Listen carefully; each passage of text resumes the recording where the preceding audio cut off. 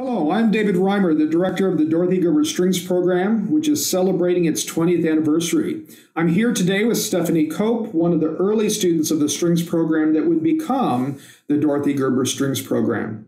So, uh, welcome, Stephanie, and uh, I'm really excited to hear your story. Let's start out by uh, you telling how you came to be in the Strings Program uh, back in, was it 2000, 2001?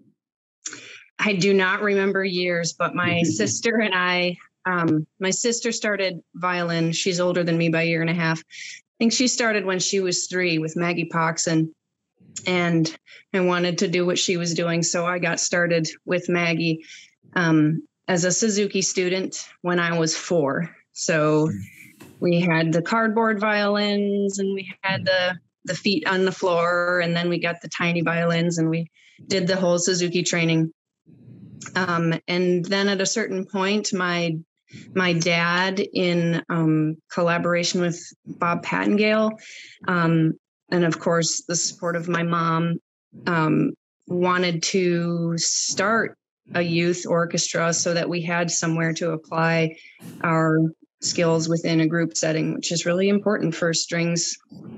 Um, so they um, put that together, and and my sister and I were in it. and that was as much as I understood as a kid. All right. So uh, you were in an orchestra that was that all students, or were there also adults in that orchestra, and who conducted it? But there was a distinct student group um, that rehearsed in the basement of the Crooked Tree Art Center before it was renovated. Um, in what is now, what is in there? The kitchen uh, or the art room. There's a big art room mm-hmm. on the on the west side of the lower level. Um, and I believe Maggie conducted that for a while, and um, mm-hmm. and then Carrie took over the youth orchestra at some point. Right. So, um, would you talk about Carrie for a little bit? Her impact on you and on the program. Sure. Carrie had a profound impact on my sister and I. Um, we had been studying privately with Dorothy Kunkel, um, who was a Traverse City based teacher, great teacher. Um, I think she's in Florida now, but we would drive every week, once a week, either meet in Elk Rapids or go all the way to her house in Cedar.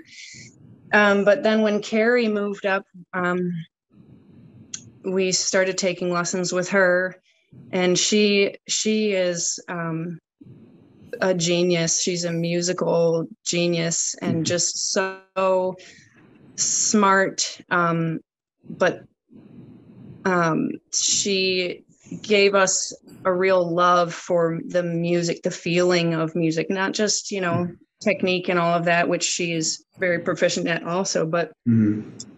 She kind of impressed on us that that um, music has to be felt and you have to find that through your technique. The better your technique gets the more you can feel within the music and that's the whole point. So um, she had a profound impact on us. Great.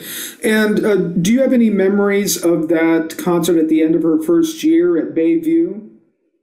Yeah that was uh, probably one of my favorite concerts ever um, mm. It was so big, and as a kid, it felt so like uh, just magical because the mm-hmm. scope mm. of it was so huge. And I played violin, I played French horn, and I played piano. I think all on that same concert, and we played, mm. you know, Copland's Fanfare for the Common Man up in the balcony, which is just amazing for French horns and we played Carnival of the Animals. Um, me and Annie Hagelberg, whose last name is now Snyder. Uh, we played the double pianos. Um, I can still play that lick from the Carnival of the Animals without my music. Um, that was so much fun, um, just because it's it was the grandest experience of music, um, mm-hmm. and you know it doesn't didn't really matter to me what instrument was in my hands, but it was it was that ex- experience of music that Carrie really gave to all the kids, um, no matter what they were playing. it's really cool. Right. Yeah. Uh, when I talked with Carrie, she talked about the newspaper coverage. Uh, you know, they talked about the enormous number of kids playing, and uh, in the audience that night uh, were also Peter and Gay Cummings, who oh really, um, who were so impressed, as were so many others, at what they saw and heard that day that uh, they decided to invest in the program, and over the years, oh, of course, have God. been uh, foundational, you know, fundamental to the success of the program. So that event was powerful in so many ways. So thanks for no idea. reflecting on that. Yes. So uh, you alluded to a few other instruments. I think one of the things uh, I think is fascinating about you is that you have played a lot of instruments and it seems to be not just dabbled, but you've done a lot with things and you've uh, played in different styles. Could you talk about kind of where your musical path has gone uh, as you've gone into adulthood? Sure. Um, as a student at Concord, we all had to be in band, we all had to be in choir. Um, and then I had that separate strings experience just from my childhood. So um, I was assigned to French horn in, in sixth grade um, and grew to really love it. You know, we I did solo and ensemble a lot, and then in college I went to the University of Michigan and I, I got into a non-major band. Um, mm But I quit because it was just too cons- time consuming with my dance obligations. And um, starting when I was eight years old, I I learned piano, took private lessons with Michelle Mitchum, and I think just personally, I really liked understanding music from different angles, and I love the way different instruments feel different. Um, and I can't really say that I have a favorite. It's just there have mm-hmm. been life circumstances along the way that have helped me determine what I'm focusing on. And right. Well, I think of two areas that that I know where you've played. One has been on the classical side. You've played with the Great Lakes Chamber Orchestra for many years. So that was on violin. Did that also include French horn?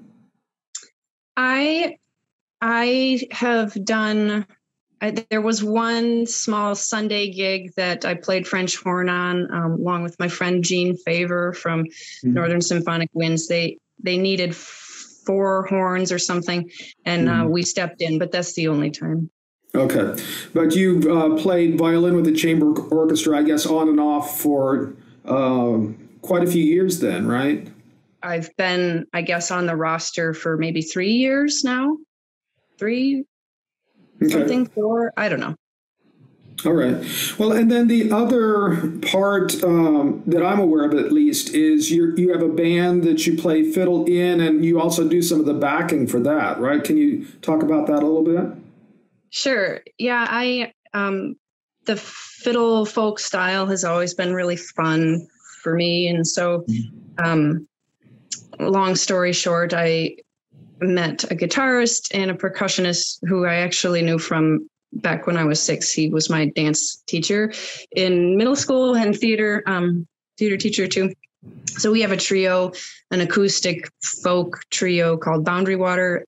Um, we write all original tunes um, in the folk vein, uh, but it's just a real fun way to be creative and we found that our styles really click. So so boundary water is is me bill wilson on fingerstyle guitar and gary shills on percussion. And um, we do everything by ear. We don't write anything down so that correlates really well with the suzuki training that i had as a little little kid learning by ear and being able to read music. They're two very different skills and it's nice to be able to do both. Um, but our band is um, in the process of recording one tune at a time. We have about 20 that we're going to be releasing. Um, we have a Facebook page, Boundary Water Trio. We're also on Instagram. And we are um, sharing those tunes as we go. Um, Bill has a recording studio in his home, and we're just taking our time and um, learning as we go. So if you want to follow us on that journey, um, look us up on Facebook. Well, I'll finish up with a question. Uh, you know, you've experienced the program as a student, and now as you refer to being a mom, and as you think about, uh, you know, your family and your kids. Um, from that perspective, what, what, does it mean to know that the uh, the Gerber program has been around for 20 years now and is serving kids like yours uh, throughout the region?